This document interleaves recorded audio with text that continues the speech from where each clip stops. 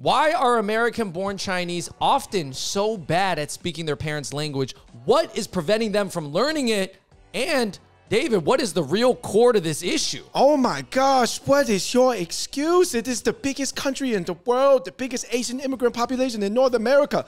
What's your reasoning? I'm sorry, Dad. I'm a bad Chinese. Make sure you like, subscribe, turn on your notifications, guys. Uh, we got to talk about this viral Reddit thread, but there's a bunch of other threads on this topic, Andrew. Long story short, there's a lot of Chinese people in the world, but a lot of second generation Chinese are generally not that good at speaking Cantonese, Mandarin, or whatever dialect that their ancestral heritage speaks, Yeah, definitely. right? If you have Chinese friends who are westernized or born in America, let's just keep it America or North America, you'll know some who are really not that good at the language, if some who don't even know it at all and who don't even try. So I guess a lot of people are wondering this question. So we're going to break it down. We got the comment section we're going to go through. There's a lot of interesting insight from it. So stay tuned for that. But first, before we get into it, Smala.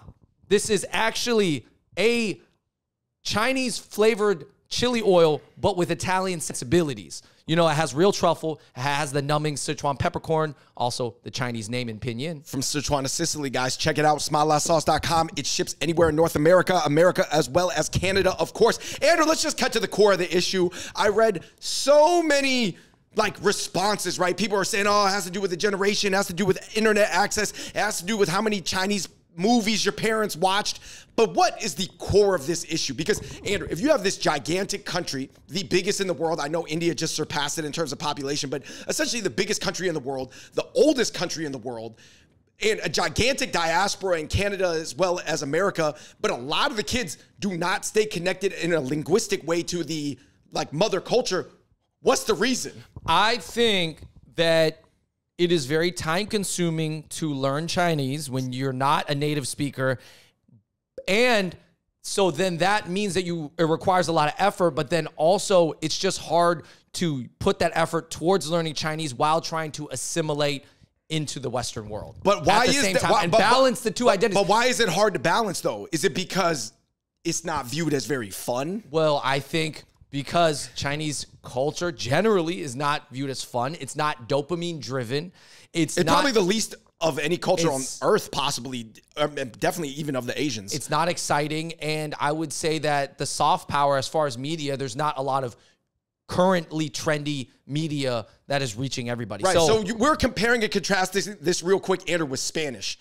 Not only is Spanish way easier to learn for English speakers, like maybe 10 times easier than, than Chinese is to learn, but it's actually arguably even a more dopamine filled culture than Oh, yeah. American culture, Dude, right? you can go to a, a, a, a, one of those like Dominican dance bars, or you take a salsa class, learn some Spanish, use your Spanish there. That's Go to Colombia? fun. I don't know, Yeah, yeah. you can go to whatever, like Latin America, and and it's very fun. It's fun. Right, right, right. So you're basically saying like it's hard to learn, and then it's viewed, at least in a Western sense, as the opposite of fun. Those two factors right there, that ain't playing too well And in it- the environment. Yeah, it discourages a lot of people from from from learning it. But anyway, guys, we got to get into the thread, the nuts and the bolts of this. Make sure you like, subscribe, turn on your notification. Andrew, I do think there are different patterns here. Um, do you agree that children of Taiwanese KMT tend to speak Mandarin really well? Like, like you know what I mean? Kids, Taiwanese kids. Generally, my Taiwanese friends, people who identify as Taiwanese, generally can at least speak Mandarin at like speaking it At least a conversational level, Yeah, right? And, but guess well. what, Andrew? Who ran all the Chinese schools in America for until the past ten years? Like ninety percent of them is Taiwanese. Yeah, a lot of Taiwanese families. Um, they were the they were the Chinese school teachers. Like, no, you stay in for recess because you have to do your bo Oh my goodness, they're so strict. Um, moving on to Cantonese who are good at Cantonese, Andrew. This is the two types that I've noticed that are good at Cantonese. Rich Hong Kong people who go back to Hong Kong every summer. Right, because you get a lot of exposure and you use it when you go back. And I've noticed that, like, specifically, if you're from a successful, like, Chinatown family, you could still have grown up in, like, the Asian hood or whatever. But if your family was successful, busting a lot of moves in Chinatown, usually the kids are good at Cantonese because they got to do business and manage all these parts of the business Yeah, as well. yeah. I would also say like, um, I mean, I do think it's a class thing. Sometimes like uh, upper middle class families generally will oftentimes teach their kids Chinese, right? Right, well, because they, like uh, they're stress the language schools, right? Yeah. Or also low income too, because you operate in that community. If you are from a lower income Chinese enclave, then you probably got to speak your at least your dialect well. It, you know what's really interesting, Andrew? It's like you said, it's almost like the rich people, the kids can speak Chinese good, and then the poor people too, out of Yeah. necessity, but for two different reasons. Um, I would say this Canadian Chinese are usually on average one to two standard deviations better than American Chinese. Agree or disagree? It seems like that also I think because Canada as a country they're more like open to it. They're like less I guess essentially anti-Asian or anti-Chinese in their culture. I'm not saying uh, people are not mean and racist still and like I'm not saying everybody in America is bad, but I'm just saying culturally they move away from it. All right, I got this hot take. And like, dude, the language schools, I don't know if they're gonna like this one. What? It does seem like the Asian Americans that are more assimilated with other American subcultures, whether white, black, or whatever, rocker, punk, you know what I mean? There's so many American subcultures you can be into. It seems like the ones that are really fluid and into those, they speak Chinese at a lower level. Yeah. Like have you ever met an Asian skater? They're probably not speaking their Asian language very well. Yeah, I would agree with or that. Or you know a lot of the uh, Asian hoopers I know, or just anybody who's into even music. Usually, they're not the most traditional thinking people. Right, right, right. It's kind of unfortunate because you know everybody would want to be like super Americanized and super good at their mother language at the same time. But I think when your mother language is something so ancient, you feel like it's gonna like take you away from your success in rising up the ladder in this particular uh, subculture lane. Exactly, exactly. I mean, listen, learning Chinese is time consuming. You have to find that time somewhere. Where are you learning it? And depending on how good you are naturally at picking up languages, because that can range and make it harder for you. So think about it. You're a person who's not great at picking up languages. And so it's going to take you longer to pick up Chinese. So you have to spend more time thinking about it, but you want to do all these other things. Right. And I think that that's why all these new chan- uh, learning Chinese languages channels on Instagram and TikTok, they're so important because they make it more palatable and more modernized, right? Because, like we said, guys, I think Japanese modern pop culture is here. I think Korean modern pop culture is very, very developed. Chinese modern culture for the youth is still developing right now. Like it's kind of unclear, right? So, anyway, guys, um, so whether or not second generation ABCs end up learning their mother tongue or ancestral language, I think there's a few factors, right? What is your natural born organic level, right? From your family and the systems. Um, what was the actual structural need in your life? Like, what did you have to know versus what do you want to know, right? Because, like, if you need to learn it, chances are you will learn it, right? Um, how much did you want to learn in certain in terms of just intense burning personal desire, Yeah. right? That's going to carry you a long way. And then once you did learn it, how often did you use it to maintain it? Because often, Andrew, languages are like a muscle; they will atrophy over time if, without use, right? David, does it almost feel like because Chinese is such a difficult language to learn for a non-native speaker that you almost have to take some pride in it, like you're going to be like a leader or a representative of Chinese? You have to have a larger goal with it, I think, because like you said, it's not something that's easy to learn. It's not necessarily something that's super fun to learn. Um, there's a like kind of a low probability that you're going to like a lot of the pop culture from China realistically or even Taiwan. I mean, like I'm not saying that none of it is good, but just like it ain't popping like K-pop and K-dramas, Right, right? right, right. Or anime, right? Um, somebody just said there is no universal response and it varies household to household. But generally and historically speaking, language assimilation tends to be a priority for second generation Asian immigrants. So the native language tends to deteriorate quickly amongst those born in the US. Native language schools are popular for the more privileged.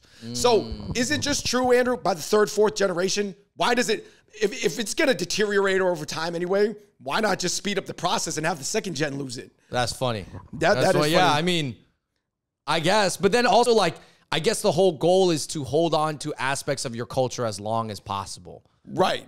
Right. But but I guess there has to be an incentive, and it's like, what's the purpose? Right. It has to have a, a larger reason, right? Somebody said uh, I attempted to learn it once I got older, uh, but I was grew up being a kind of a bad Cantonese speaker. So when I tried to learn Mandarin, I could still pick it up quicker than somebody who didn't know anything. But ultimately, I didn't really see the value in it, and I dropped it. But I did take a class when I was an adult. This is a pretty common story, right? Like a lot of people are like, okay, I'm going to take a class later in life. Um, how much do you think it is? Also that like a lot of Chinese, we grow up speaking different dialects at home, but nowadays, of course, every learning course is going to be centered around Mandarin because even though people prefer speaking their dialect language, Mandarin is the thing that bonds everybody together. Yeah, I think that it's really cool to take a Mandarin class. I think everybody should. That's Chinese should take a mean, Mandarin. regardless if they're uh, Yeah, well, no, FJ or Canto or regardless, even if you learn it well, you should just take it because it kind of at least lets you know one how good you are at it. Number two, it just kind of puts you on the same page as where I guess the Chinese community and world is heading. Right. Not to say forget about your other dialect, but I'm just saying I think whether or not you plan on learning it fluently, you should still take a class just to be like, I did it. And I have that in my brain, you know? Right, right. And it is true that, I mean, regardless of like what language they want to speak, every waiter at a Chinese restaurant will speak Mandarin to some level, at Yeah, least yeah, yeah. five out of 10, Yeah, yeah, yeah. if not Eight. Um, somebody says it really depends on what period they came to America. Everybody who came to America in the 1960s all the way up to 1990s, their kids primarily probably use English. However, if they came after that, nowadays there's so many ways to stay in touch with the motherland through the internet, TV shows, blah blah blah blah blah blah blah, blah movies. That it's like it's easier now for the kids who are like 20 and under. Yeah, no, I think that a lot of Chinese immigrant parents that came in the 60s, 70s, 80s, they were just so happy to come to America that they were like, okay, like, you know, just learn English and become American. We're so happy we're here, you know. But like you said, there's so many ways and more media now that you can kind of keep in touch and maybe like flights are more plentiful and maybe depending on how your family came over they have a little bit more money to go back and forth every year if you go back and forth every summer or every even two years your chinese is you're gonna have chinese you can you're gonna be able to say stuff For sure, for sure. Especially if you have large interconnected systems back home. Where cousins you Yeah, have yeah, uh, yeah. your family owns business out there or something For like that. sure. I mean, if you want to be a part of that business back in the motherland, you're going to need to be able to speak the language or else people are going to view you as a liability. But yeah, to empathize with the kids whose parents came over here just like to survive, they just wanted to assimilate, make a better life. Making a better life, David, part of at a time making a better life in America was literally just getting good at English. And that's still It- it a lot still of is really important to be good at English. It is still important to be good at English, even in the globe. yeah, I highly recommend being at least eight out of 10 at English. you still be good at English. And I think that there was such a a tunnel vision and focus on it that it deterred a lot of people from learning. Right, but right because it was a risk, right? If you learn another language, it's like, oh shit, I, I don't want my kid to be like. you're here to maybe, make- Maybe they end up six out of ten at English, six Yeah. out of ten at Chinese. Then they only six at something. That, that's useless. Right, right, right. Um, somebody said it even varies a lot within a household. Usually, the older kids speak it better, the younger kids don't. But it actually also comes down to just desire. Like some kids, like uh, the younger kid may desire to learn it later in life, study it, and then they will surpass even the older kids. Yeah, yeah, I think it that happens a lot. I mean, uh, our sister grew up speaking Cantonese when she was young. That was her first language. So technically, that's in her blood. That's in her mind to be able to speak Canto well. Right. It's programmed as first language. But in- but to in- be honest, she doesn't choose to speak it in public very often. Right. Right. While you went on to learn it more, you took more classes. And you're also very willing to speak it. in Right, right, right, right. So of course you're going to get way more practice, and your desire to speak it is just so much stronger. So Yeah. Somebody said, Do you think that the dudes end up speaking Chinese better than the girls because the girls are more assimilated in Western society? This is a comment, guys. Yeah, that's. T- I, I I think you cannot. I cannot answer this question because I think it just varies. Because I've seen families that do both. I've seen it where the boy is really good. I've seen it when the girl's not good. I just think whoever's the most Americanized, to be honest, is going to speak it the worst. Right. That makes complete sense to me. Somebody said, man, learning Chinese, it, you got to make sure you're around cool stuff or watch cool things because otherwise, learning Chinese, upping your Chinese level is just going to make you understand a bunch of ish that you still don't want to hear. That is hilarious. That's funny. I think it is true. Like, listen, if don't learn Chinese just to communicate with your grandma and your parents. Right. Because you are gonna regret it. Because you're gonna be like, dang, I learned, put all this work in just to hear a bunch of traditional, like almost like generic, stereotypical Confucian filial piety advice. You know what I mean? Like, You mean you learn Chinese just to hear your grandmother Can be you like, imagine that, What bro?" are you eating? Or you're getting too Yeah. fat. And then it's like, you know, I kind of wish I didn't even have this conversation with you.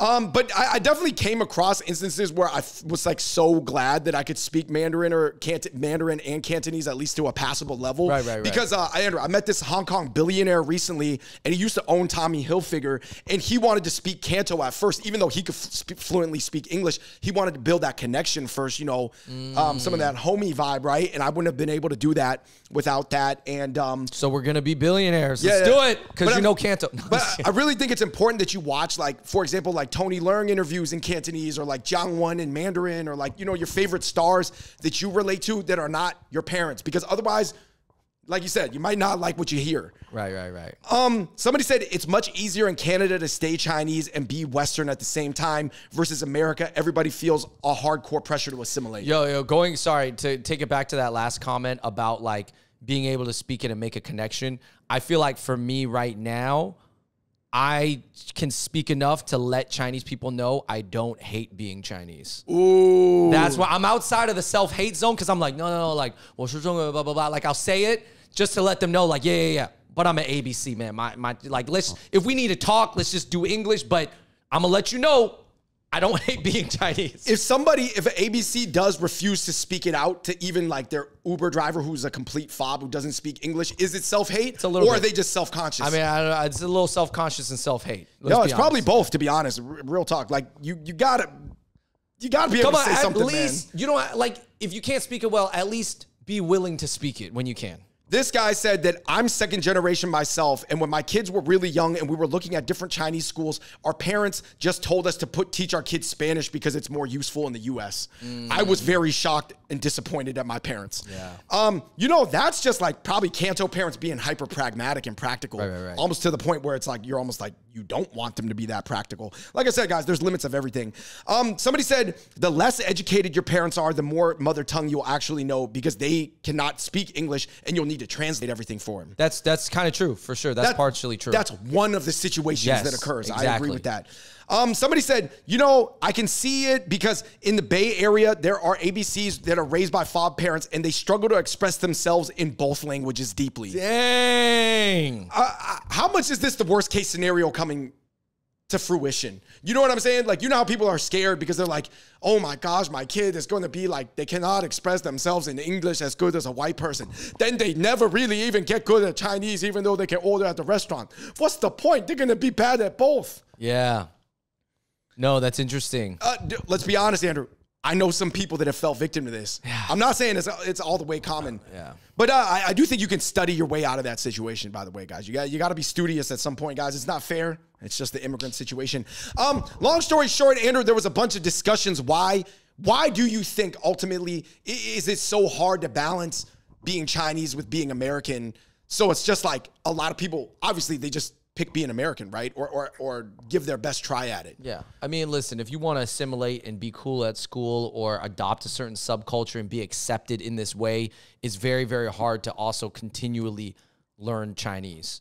Now, unless your parents only speak it to you in English and you're able to make that hard move from speaking high level Chinese at home to speaking just pure English, like no non accented English at school, shout out to you. I know people who do that.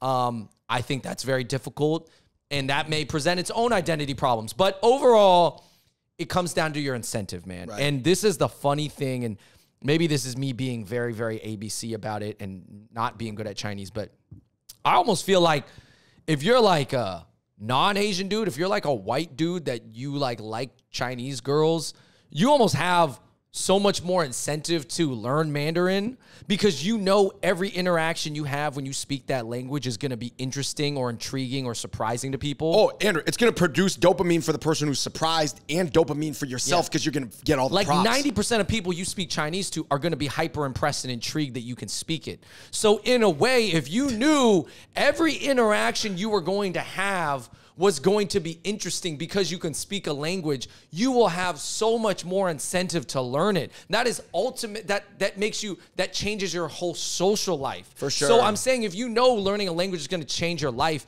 it's like people coming to America and being like, oh man, yeah, I have to be better at English because the more English I know, the more business people I can do, the more life I can change, the more people I can meet. That makes complete sense. Right. So I guess it's just you have to find that incentive. And sometimes And, and, and the immediate dopamine is not going to be an incentive No. because being Chinese, it's not a dopamine driven culture. It's probably like arguably one of the least dopamine driven cultures on earth. Yeah, to if you're. Chinese speaking Chinese, you're not necessarily gonna impress everybody all the time. Some people will be surprised; they'll still give you credit, but a lot of the time they'll just be like, "Yeah, that's expected." yeah, it's almost face. more for like being functional. Yeah, yeah. So you have to find the necessity and the need and the incentive to learn it, and everybody's incentive is a little bit different. Yeah, I would say, you know, date somebody that's young from China. I mean, not like young in the, you know what I mean? Like, somebody that's more of a modernly mili- your age, you know what I mean, that can be with the modern young culture. But I guess let's talk about David before we go, like a bigger picture incentive. Like I think I think being legendary, if you look at it, Bruce Lee, extremely fluent in both cultures, could bridge the gap between the East and the West. Ronny Chieng, extremely fluent in both, can bridge the gap between the East and West in a comedic sense right now. you're saying Ronny Chieng See, is the Simu's Bruce not going to get comedy. his roles. Simu speaks Mandarin in like a lot of his roles, not a lot, but you know what I mean. Like, it's a huge tool bag, a trick to have in your tool bag as an Asian American actor. You know what I'm saying? But like, obviously, you can be like, if you just make really Asian American jokes like Ali Wong, I don't think Ali Wong could speak Chinese, but it's like she doesn't really need to because like her jokes are so about being okay, Asian so what about for the She's regular- not bridging the gap between like this massive uh continent. So do you have to feel like that of a regular person, like if you're in finance or engineering or you're in accounting or you run a small business, should you have to find that desire to represent something bigger and be this legendary cultural yeah, figure? Yeah, it's either going to be driven by that legacy desire or just some sort of like micro thing where it's like, oh yeah, I like date a lot of fob girls, so I have to learn Mandarin to to, to feel more comfortable with them. You know what I'm saying? Like it's either got to be an intense micro dopamine fueled incentive or this like larger macro like, man, I just I got to bridge the gap between these like disparate places on earth ancient, old, east, west. So I think that that's the main reason why. And you know, like I said, the, the, the- to, you know, to the final point, it's like it's so variable in a family because like not every kid in the family is gonna feel the same missions in life. Yeah. Yeah, but I, I do recommend it. I do. Everybody I know who's like getting known right now for bridging the gap between the East and the West. Even shout out to uh, Cory Ng, the owner of uh, Potluck Club. He he does his interviews sometimes in Cantonese, Right. And it shows that it's like, man, he can bridge it for. I don't even think he speaks Mandarin, but like he could bridge it for his dialect, you know? Right, right, right. Anyway, guys, let us know what you think in the comment section below. Like I said, there's 500, 600 posts about this on the internet. Um, let us know what you think are the reasons, pros, cons, which groups are really good at it, which groups are really bad, what's your incentive system for doing anything. Until next time, we the Hot Pot Boys. We out. Peace. Peace.